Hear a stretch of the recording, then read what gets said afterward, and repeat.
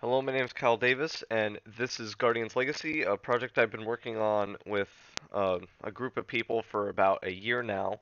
Uh, the intent for this was a linear RPG game where we have a few cool, interesting systems that uh, I've designed and had help with from the group. And this was a project that was a little new for me because it was a leadership experience that I never really had before. So I learned to grow into that, into Scrum Master, into learning how management and a lot of the source control ends up working at a very high level for a wide range of stuff and trying to keep an overall vision together. Once we get into it, we'll see we're uh, a top-down isometric view for what we wanted, uh, and we'll see the first thing here is our little church and trying to get our our main feature in, which is our skill system. So for this game, you create all of the skills that you have uh, at your disposal.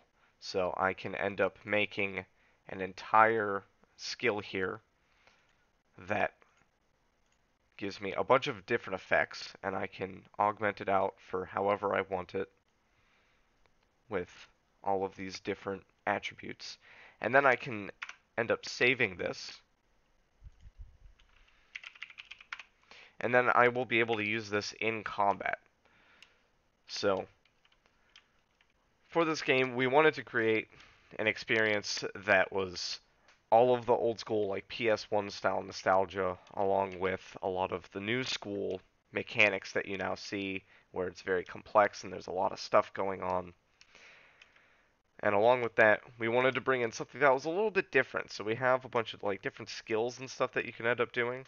So if we look around, we'll see that we have uh, our characters now rotating. This is me and my targeting for using the skills that I have in my inventory that you see I'm cycling through. In this case, we have a teleport here. And all of these are meant to be modular to be used in our puzzle solving aspect, which each one of these puzzle solving skills are linked to the skills you use in combat. So it's specific elements that you equip give you certain puzzle solving skills and each one is made so it's modular enough that you can go through most of the game with a specific set of skills and still be able to do a lot of the stuff. And if we go back into our menu and we go over to what our basically battle scene would look like, this is our basic combat and what we would end up doing. So we've set up most of the functionality and breath work for what we want this to be for a playable alpha to show off all the conceptual stuff that we want to do uh, in the future with this project. So far, it's it's a really cool experience. We've learned a lot. We've gone from beginning to end of a pipeline, uh, from starting conceptualization all the way to what do we do to package our project for sale. So there's a lot of stuff going on under the hood, and a lot of stuff that I feel really shows that this is an interesting experience to be able to work on and be able to do, along with being able to make something that, as we've done our playtesting, people find fun and enjoyable, which is always something that's really interesting to me. So, this is just a demo of what our shop eh, will eventually look like. We don't have the functionality in yet, but we're working there along with trying to get a bunch of other stuff together. Um, we've done some interesting things with how the system works. So our entire system works off of prefabbing uh, scriptable objects.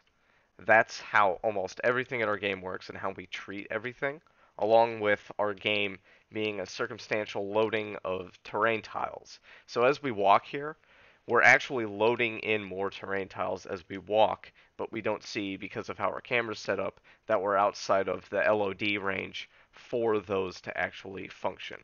So, it's quite interesting. And then that's part of our teleport where we get to see different areas that we then have, such as our castle scene and a few others that we've been working on. And these are the areas leading up to the actual uh, town that we were in at the beginning for what we want to do overall.